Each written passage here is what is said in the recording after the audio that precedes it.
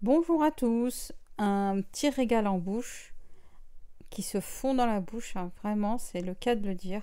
On aura besoin de paleron, j'ai 700 g de paleron, 3 carottes, un oignon et aussi euh, une branche de céleri. En mode doré, donc j'ai fait chauffer mon huile, je mis mon paleron à l'intérieur, on va le faire dorer de, sur toutes les faces. Pour éviter les éclaboussures, comme vous le voyez, j'ai mis un couvercle et là, au fur et à mesure, bah, je retourne mon paleron. Je rajoute, quand j'ai bien doré mon paleron de toutes les faces, je rajoute un oignon émincé. Je fais dorer quelques minutes. Je rajoute mes carottes coupées grossièrement. Je fais dorer quelques minutes. Je rajoute du sel, du poivre et de l'ail. Et on continue, continue en mode doré tant que les oignons ne sont pas translucides. Dès que les oignons sont translucides, je rajoute un, litre de sang de bouillon de bœuf. Il faut que ma viande soit recouverte de bouillon. Et là, donc pour éviter le code erreur 21 que je vois énormément sur le net et sur le groupe, euh, il faut vraiment décoller les comme, comme là. Donc on gratte bien le fond en fait de, votre, euh, de votre cuve. Et pour éviter aussi que la vapeur s'échappe par les poignées, on retire les excédents. On peut avoir des éclaboussures, on peut avoir aussi des petits oignons qui se sont mis sur les parois. du côté euh, donc, euh, de, la, de notre cookéo, on essuie correctement avant de fermer notre, notre cookéo. Je rajoute ma branche de céleri. Et là, ça part en cuisson pendant une heure. Alors, si votre viande est coupée en petits morceaux, 35 minutes suffit. Mais là, ma viande était, c'est un gros morceau, donc euh, la cuisson, c'est une heure.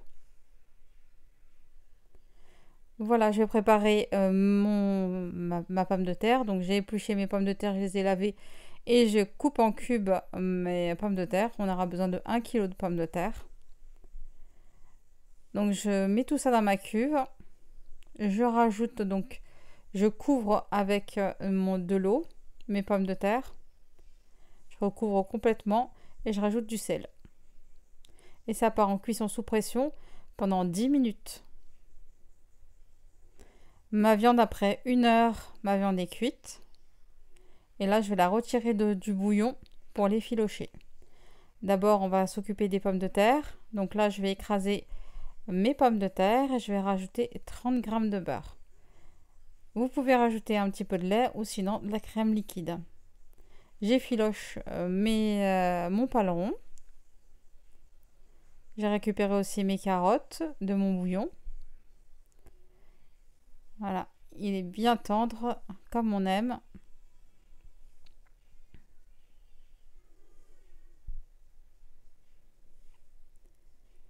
Donc là, il est bien effiloché.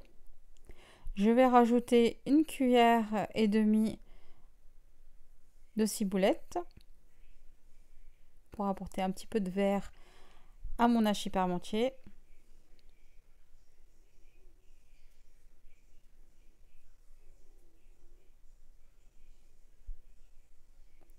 Et pour que mon hachis parmentier ne soit pas sec, je vais rajouter mon bouillon. Pour cela, d'abord, je vais lier ma, sauce. Donc, je rajoute une cuillère et demie euh, de maïzena. Je rajoute mon liant dans ma cuve et euh, je laisse euh, en mode doré pendant quelques minutes. Voilà, mon liant s'est épaissi. Je rajoute donc deux louches à ma viande. Et là, je pose ma purée.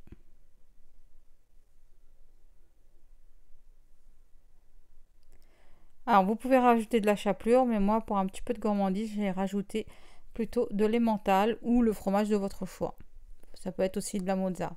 Après 30 minutes de cuisson, à 180 degrés Celsius, voilà ce que ça donne. J'ai posé dans mon assiette un petit peu de mon bouillon.